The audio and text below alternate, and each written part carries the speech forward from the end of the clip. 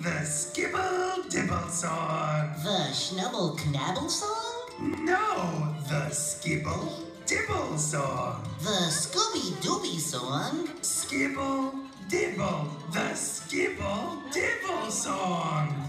That's when you rhyme any mitzvah in the Torah with the words skibble dibble and sing about it. I- I'm not really sure I get it. I'll tell you what. You practice while I sing the first verse. Okay. Scabbly, skinny doo, skibble, skibble,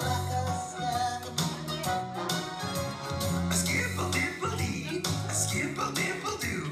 Now this is what I do when I go to shul.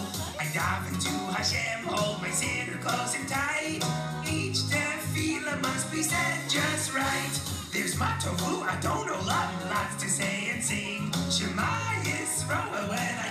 tinted strings. And when my feel is over, I feel so warm inside. I thank Hashem and I'm filled with pride. Skibble dibble dee, skibble dibble doo.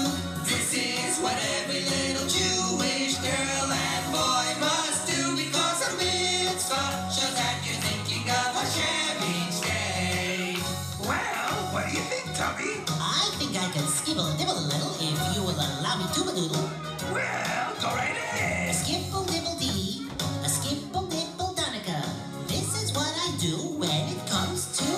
I light my menorah every night. I add a flame.